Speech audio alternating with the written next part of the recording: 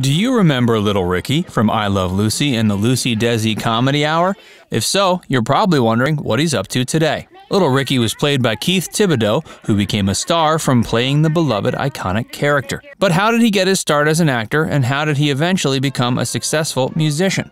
In this video, we'll take a look at Keith Thibodeaux's incredible life and career. Keith's childhood. Keith Thibodeaux was born December 1, 1950, in Lafayette, Louisiana. At a young age, he took a keen interest in drums.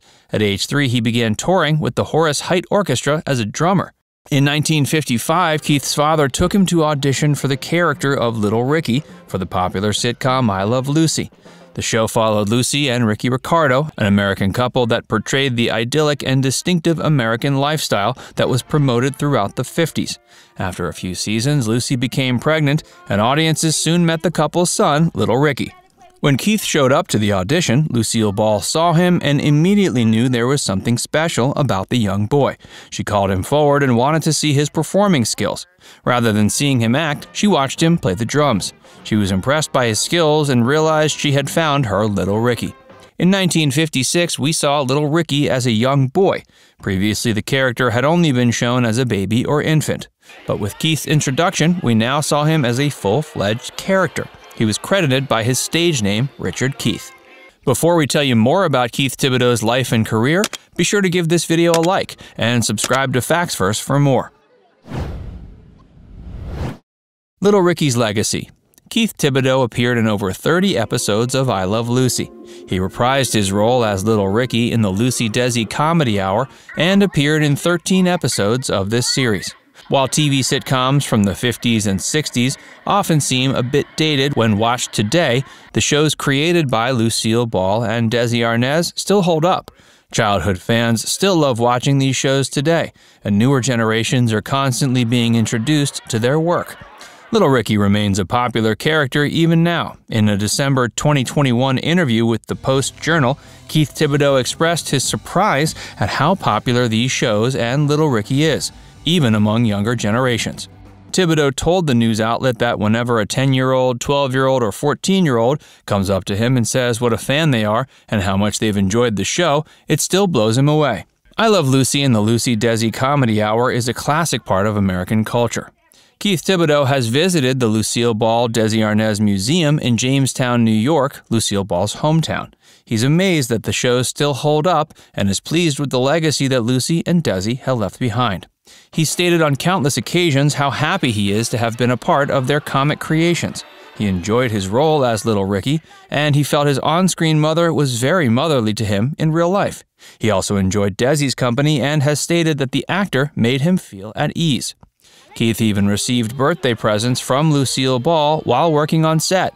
He still remembers some of the gifts he received from the actress. He recalls many of the episodes he enjoyed working on.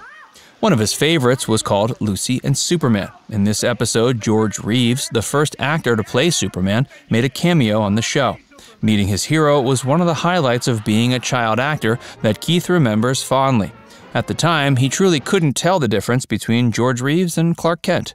He also loved meeting a few other stars during his years. He fondly remembers meeting Maurice Chevalier and Jimmy Durante.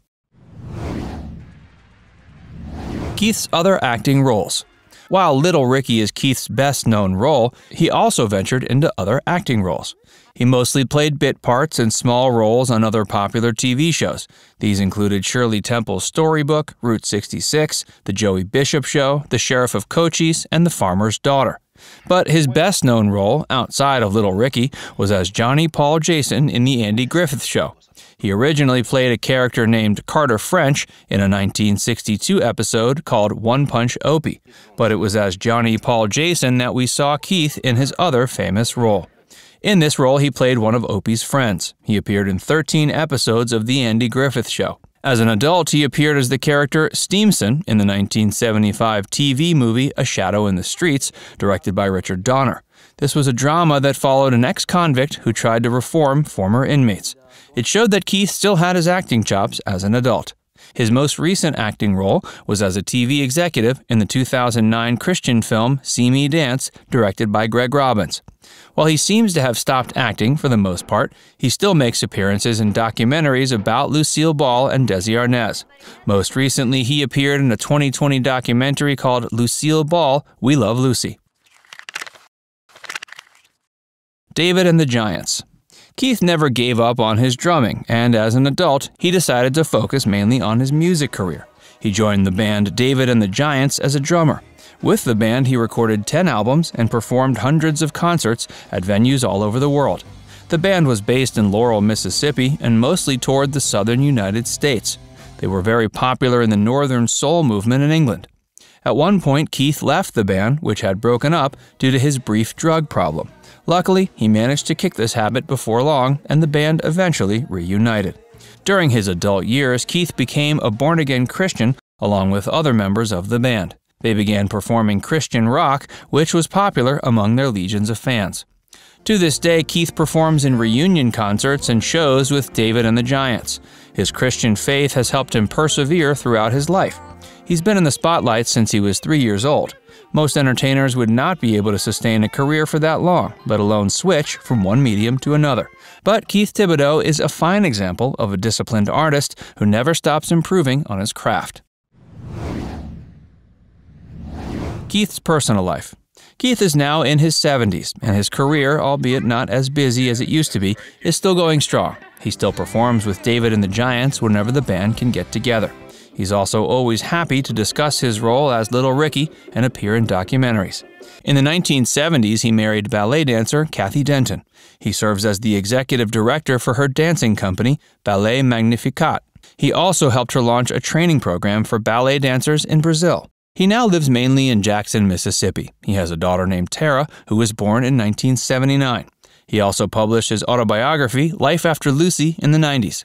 Keith Thibodeaux, or Richard Keith as most of us know him, has lived an incredible life. He's gone from being a child star to a talented professional musician to a businessman promoting ballet. For many of us, we'll always remember him as Little Ricky. Perhaps this is what he'll be best known for, but one should also appreciate his other acting roles and his incredible prowess as a musician. Now it's time to hear from you. What's your favorite I Love Lucy episode with Little Ricky? Let us know in the comments section below. And before you go, make sure you give this video a like and subscribe to Facts Verse if you haven't already. Click the bell icon to stay updated on all our latest content.